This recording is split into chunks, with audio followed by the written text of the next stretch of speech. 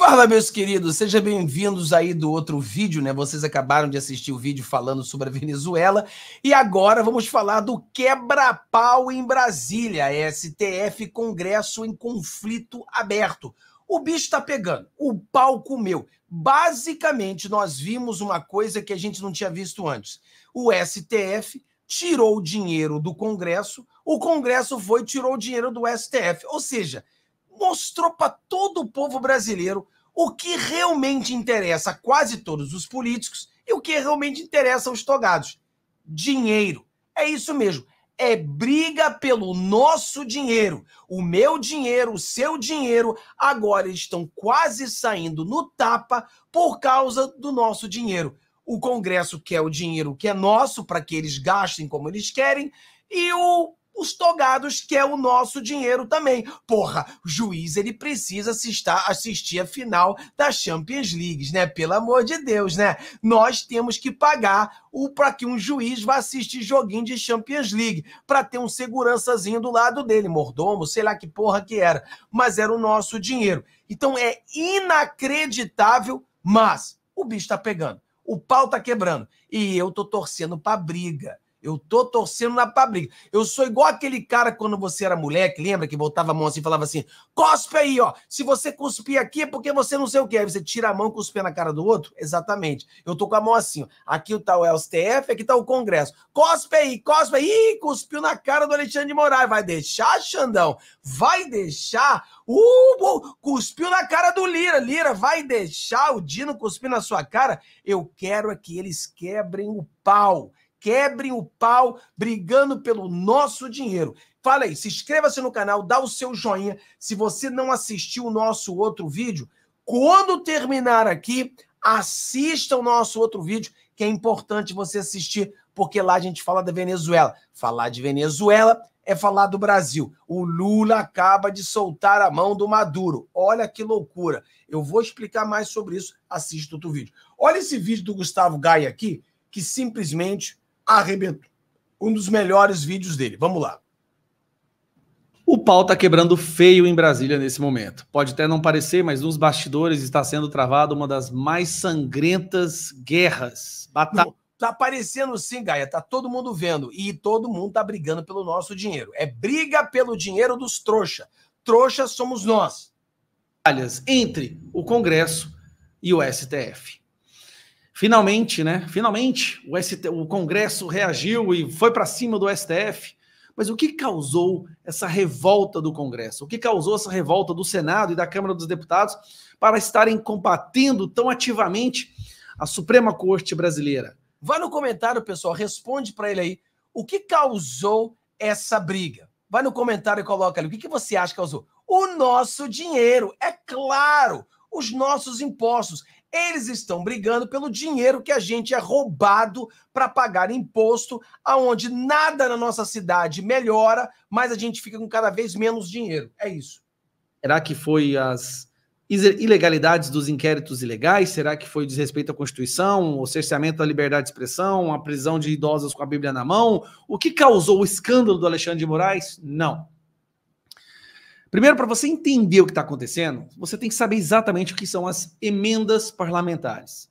Todo deputado e senador recebe ali entre 40 e 60 milhões, não é que recebe, tem o direito a destinar 60 a 40 milhões de reais de forma impositiva, ou seja, o governo brasileiro, o Lula, não tem nenhuma interferência nisso, destinar para onde ele quiser, para hospitais, para comprar é, vereadores, para comprar prefeitos, para roubar, para ONGs, para ações sociais, é o mais valioso bem que a maioria dos deputados e senadores consideram. Tem gente que vira deputado e senador só por causa das emendas. Imagine, 40 milhões por ano que você pode deixar. Tem gente, poxa, Gustavo, eu acredito que a maioria dos políticos, eles entram na política exatamente pelo dinheiro, exatamente pelo nosso dinheiro. Então não é tem gente, a maioria deles fazem isso. Nós precisamos mudar esse bando de vagabundo que está aí. Como você quiser. Você constrói, compra a sua base para se manter eleito perpetuamente, né, até o fim da vida. Você compra prefeitos, vereadores, deputados estaduais, rouba, é a principal fonte de desvio de verba. É a coisa mais valiosa para eles. E aí, Lula, tentando controlar o Congresso, coloca o seu capanga Flávio Dino, que os próprios senadores votaram para colocar no STF, faz o L para os senadores agora, né? Nós tentamos avisar, mas eles não escutaram. Lula vai lá e aciona, aciona o seu capanga do STF, que é esse cidadão aqui, todo mundo já conhece ele, né? O Flávio Dino. Flávio Dino vai lá e toma a seguinte decisão, que foi o estopim dessa guerra que a gente está vendo agora. Vamos lá. STF suspende emendas impositivas até novas regras de transparência. Sob o argumento de que quer buscar transparências, o que é mentira, porque o Lula é o que mais direcionou verbas é, sem transparência, Flávio Dino suspendeu as emendas impositivas. Emendas impositivas. O dinheiro que o governo é obrigado a deixar que os deputados e senadores destinem como eles bem quiserem. Não é critério deles escolher se vai ou não vai. É obrigado. Essa é a vida de 80% dos deputados e senadores. Eles vivem por causa disso, tá? Eles nem se importam com Constituição, com legislação. Boa parte é só isso que eles querem.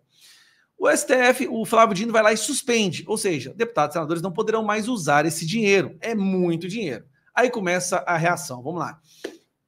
Suspensão de emendas por Dino amplia atritos entre Congresso e a FTN. Muito eufemismo, amplia não, foi pro pau o negócio. A treta tá feia.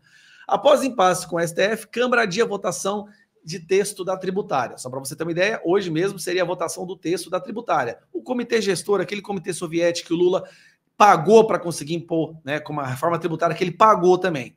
Então, para ter mais controle ainda, Lula quer tirar todo o dinheiro de todos os deputados e fica só ele determinando quem vai receber.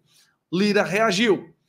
E reagiu de novo. Lira convoca a sessão na quinta-feira para derrubar a MP do Judiciário. Essa medida provisória do Lula ela destinaria 1,3 bilhões ao Poder Judiciário em aumentos de salários. Re derrubou, Lira organizou para derrubar. Então, ó, duas pauladas que o Lira deu. Lira deu. Flávio Dino cancela o dinheiro dos deputados e senadores. Lira vai lá, não vota o comitê gestor do Lula, do soviético, e tira dinheiro do STF. Aí o que, que o STF decide fazer? Aí o STF recuou. Ó. STF adia, adianta a referenda de decisões de Dino sobre emendas para a sexta. Então, essa decisão do Flávio Dino, que seria só lá para frente votada, o STF foi lá e adiantou para ser votada agora, provavelmente já articulando a derrubada dessa suspensão. Por quê? Porque se eles vierem para cima do Congresso, eles foram para cima de algo que é muito mais importante para a maioria dos deputados e senadores do que liberdade de expressão, democracia, direitos constitucionais. Muito mais importante é o dinheiro. Na minha opinião, a maior, desculpa usar essa palavra, tá? Mas a maior desgraça que existe no Congresso hoje é o fato de deputados terem direito a distribuir dinheiro que não foram eles que produziram, distribuir dinheiro dos outros, seu dinheiro. Mas aí eu discordo com o Gustavo Gaio. O problema não é o deputado distribuir o nosso dinheiro, né? Nós sempre teremos de ter alguém para distribuir o nosso dinheiro. O problema é ter deputados bandidos, deputados corruptos, deputados irresponsáveis distribuindo nosso dinheiro. Esse é o problema. Porque não importa, alguém vai ter que distribuir o nosso dinheiro. Se a gente paga imposto, como é que a gente vai construir hospital? Como é que vamos construir uma. Então, é, é, tem que usar. O problema não é o dinheiro. O problema não é nem. Claro que no Brasil o imposto é muito alto, tem que diminuir esses impostos. Eu, como vocês sabem, eu não sou contra imposto. Eu sou contra esses impostos abusivos. Eu acho que imposto, as pessoas que são muito ricas devem pagar um pouco mais, as pessoas que são pobres não devem pagar nada. As pessoas são classe média, pagam um pouquinho. Assim deve ser o imposto. Agora, a gente paga imposto, tem que ter um retorno. Cadê o retorno? O retorno tem que ser feito exatamente por esses deputados, senadores, que criam hospitais, escolas, ruas, etc. e tal. Só que no Brasil o retorno vai para o bolso de muita gente. Então, esse é o grande problema. Vamos lá. Pegam seu dinheiro e distribuem para quem eles quiserem. Esta é a maior merda. É, é, é, o início da prostituição da política brasileira, o estopim, a raiz está nas emendas parlamentares. Elas não deveriam existir. Deputados e senadores deveriam única e exclusivamente fiscalizar e legislar e mais nada, tá bom? E aí o STF também aciona o Pacheco, que é o capacho, né? E o Pacheco vai lá e derruba a, o, o decreto legislativo que melhoraria a condição das armas, das pessoas que querem ter armas e do decreto de armas, é de, a, como é que fala? Enfraqueceria o decreto de armas do Lula, que basicamente acabou com a capacidade da população de se armar. E o pau tá comendo. Só para você ter uma ideia, o que seria votado essa semana foi tudo cancelado. Treta feia. O STF foi para cima do Congresso achando que como, como o Congresso, o Pacheco, tem demonstrado que sempre se curva e coloca o rabinho entre as pernas, o Flávio Dino foi lá naquilo que é mais importante para os parlamentares, que é o dinheiro das emendas. Rapaz, saiu os bichos revoltados de tudo que é lado. Não, peraí. Olha, a gente aceita você prender senhorinhas, a gente aceita você prender jornalistas, a gente aceita vocês destruir a liberdade de expressão, a gente aceita vocês não, não darem transparência nas eleições, a gente aceita vocês intimidarem as pessoas com inquéritos ilegais, a gente aceita tudo mas não mexa no nosso dinheiro. É mais ou menos isso. Né? A reação é não mexa no dinheiro do, do, do parlamentar. Pode roubar o povo, mas não rouba meu dinheiro, não. E a treta. Ah, mas isso aí sempre foi, né, pessoal? Isso aí sempre foi. Sempre foi assim. Por isso que eu digo que nós precisamos abrir nossa mente. Nós precisamos lutar pelo Brasil, nós precisamos lutar pela política, a gente precisa compartilhar os vídeos, nós precisamos ir às ruas fazer manifestação, nós precisamos votar. Tudo isso é, é verdade. Mas nós precisamos também crescer individualmente. A gente precisa fazer exercício, a gente precisa comer bem, a gente precisa não estar estressado, a gente precisa entender que, da mesma forma que eu luto pela política, eu tenho que lutar pelo meu crescimento individual. Eu tenho que fazer exercício todos os dias, eu tenho que me alimentar bem todos os dias, eu tenho que estar bem com a minha família, eu tenho que ser uma pessoa feliz. Então, eu, nós temos que lutar desses dois lados. Não adianta você deixar de fazer exercício, deixar de comer bem, ficar todo estressado, querendo salvar o mundo através da internet ou através da política, se você não se cuida. Então, as duas coisas têm que ser feitas. Eia, sinceramente, sim, eu, eu vou lá, até é, de tudo que o STF fez até agora, nada deixou o Congresso tão revoltado quanto isso. E a minha parte aqui, eu, acho, eu tô achando é ótimo. Eu tô achando, por mim, suspende as emendas permanentemente. Não passa mais dinheiro para deputado, mais senador, que eu te garanto que nas próximas eleições nós teremos uma, uma leva muito mais muito mais vamos dizer, depurada de pessoas que realmente têm bandeiras políticas do que de gente que vai lá só para roubar. Quer acabar com a corrupção? tira as emendas. Mas como eles não vão tirar, eu sei que nunca vai sair isso daí. Uh, é e é assim que eles compram os deputados. É engraçado. Eles compram de, votos através de emendas. Se tira a impositiva, que é aquela, aquele dinheiro que ele é obrigado a receber, o deputado e o senador vai ficar única e exclusivamente dependendo do dinheiro do Lula.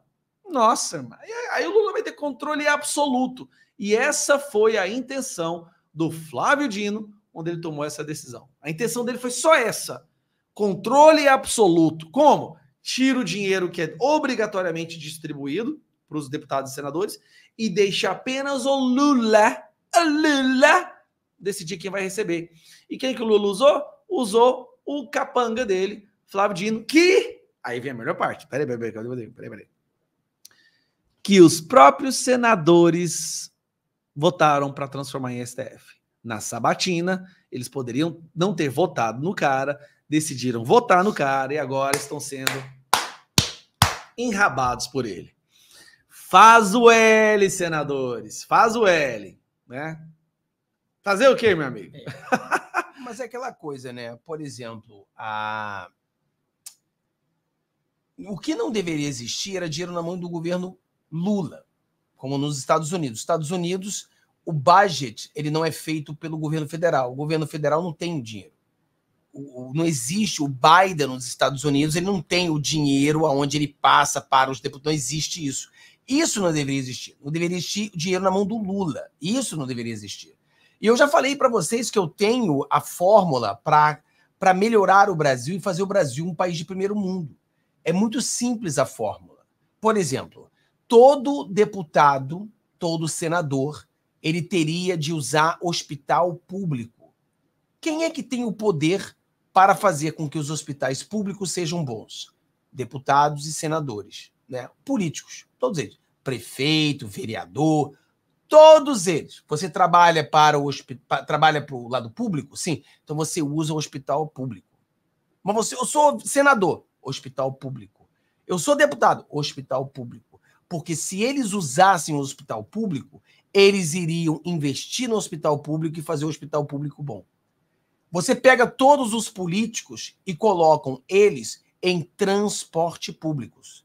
Por quê? Porque se esses senadores, se esses deputados usassem transporte públicos, os, os transportes públicos não seriam essa bosta que é. O transporte público que esses deputados nunca usaram, ou a última vez que eles usaram, eles nem lembram, são uma porcaria porque eles não usam. Escolas públicas, sim. Todo filho de senador, de político, deveria usar escola pública. Ah, mas Fábio, não dá para um, um, senador botar na escola pública porque a escola pública é muito ruim. Que ele melhore a escola pública. Se ele tem que colocar o filho na escola pública, certamente ele vai corrigir a escola pública. Então, se nós fizéssemos isso, coisas básicas, simples, o Brasil seria um grande, um grande país hoje estaria muito melhor do que é. Mas você acha que um político gostaria de ser político se você tirasse as mordomias dele? Vários países aí da Europa, os países que são sensacionais para você morar, são países que a posição política é voluntária. O cara não ganha dinheiro para ser político. O cara vai para o seu escritório de ônibus. Entendeu? O cara não ganha. É, é tudo por, por devoção, mano. É isso que eles fazem. Imagina no Brasil se nós criássemos, ó, deputado federal agora em diante vai ser uma questão assim voluntária.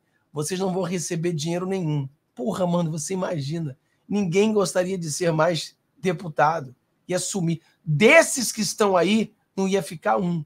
Então, é esse que é o negócio. Existe a fórmula. Só que o problema é que eles que estão ali, eles estão no poder e querem o dinheiro. Por exemplo, o Gaia falou muito bem, gostei muito do vídeo, mas ele falou pouco do STF. Porque se tem as emendas no, no, no, entre os deputados e senadores, olha o que o STF levanta. Eu, se eu não me engano, era mais de um bilhão. Acho que era mais de um bilhão, acho que era um bilhão e trezentos, uma coisa assim, um bilhão ponto trinta. Uma coisa assim absurda o dinheiro que eles levantam. Então eles podem.